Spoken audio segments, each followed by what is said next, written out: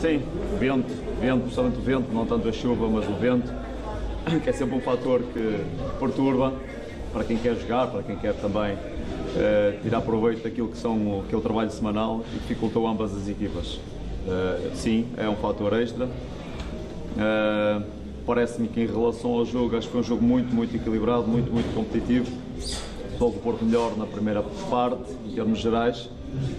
E, e acho que na segunda parte tivemos um ascendente bastante, positivo, conseguimos, conseguimos ser bem, bem competitivos, lutamos sempre pelo resultado. Uh, Deixa-me dizer que pouquíssimas ocasiões no jogo, muito, muito poucas ocasiões no jogo, também fruto das defesas levarem supremacia em relação aos ataques de ambas as partes.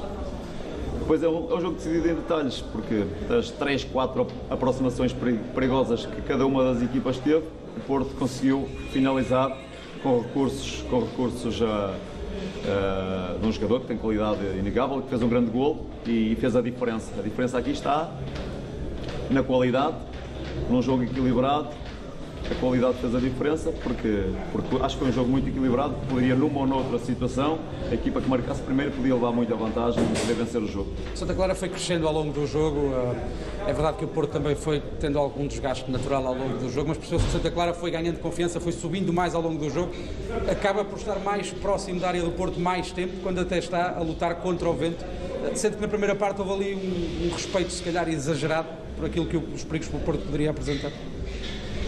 Bem, há um lado do vento que este lado do vento é preciso que se lhe diga, né? quando temos vento a favor, uh, o tipo de passe é um, vento contra, o tipo de passe é outro. Nós na primeira parte, o ataque à profundidade não foi tão visível, ou foi, foi uh, não, não era tanto preferência porque tínhamos que controlar muito o passe e ficámos um pouco intranquilos porque nas, nas variações de, de, corredor de jogo não tirámos proveito delas. Tivemos várias variações, depois no último terço fomos pouco tranquilos a ideia era, era acelerar um jogo na, perpendicular, na circulação à largura e depois tirar proveito de 2 para 2 e de um, de um contra um.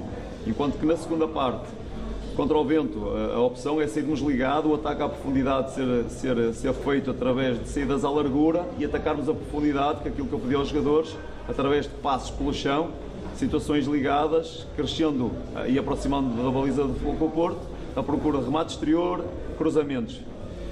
Tentámos de uma forma e de outra, como disse bem, fomos crescendo no jogo, não foi o suficiente. Acho que foi um jogo, do ponto de vista geral, agradável e emotivo, mas faltou aqui aquilo que foi um bocadinho mais de condimentos, golos, mais, mais criação de oportunidades de parte a parte.